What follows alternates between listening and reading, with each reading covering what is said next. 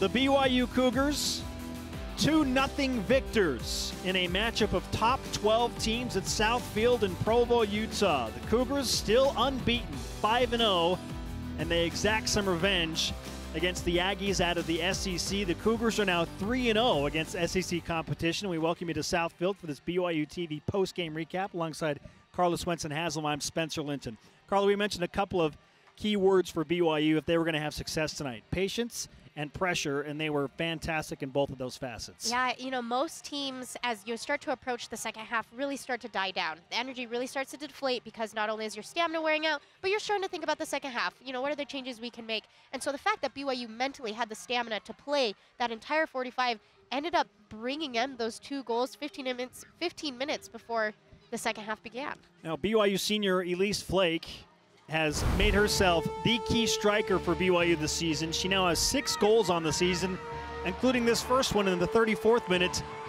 Not exactly what she had in mind, but she gets the favorable deflection off the heel of Jordan Hill. Well, you always say it's better to be lucky than good. That being said, though, Elise Flake does a great job of creating her own luck there, does an amazing job of getting that shot off, and then she does it. Just three minutes later, cheeky little touch there is able to find the back of the net, hits it just as she would like.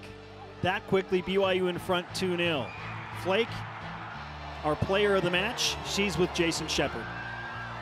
Elise, I vividly remember you telling me on the post-game show on radio after the Utah win, you wanted revenge for what happened to Texas A&M last year. The team got the revenge, and you got the revenge with two goals. How big was this for you guys? So big. We were so excited for this game. Um, I think we brought tons of energy, which was the biggest thing for us. Well, and you guys really from the, the get-go, you controlled all 90 minutes of this.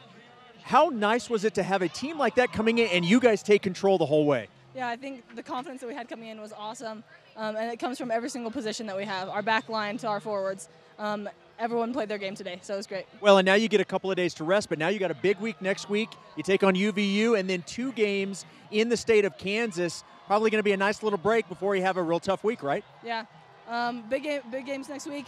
Hopefully, we can just kind of recover after this one and then get ready to go on Monday. Congratulations on a big win. Thanks. Thanks, Jason.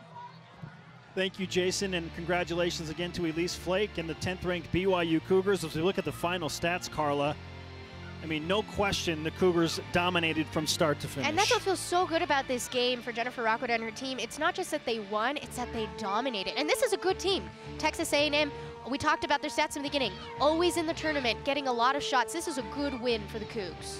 BYU 5 0. Texas A&M drops to 4 1 2. That'll do it for our BYU TV Sports post game recap. It's another Cougar winner. See you next time.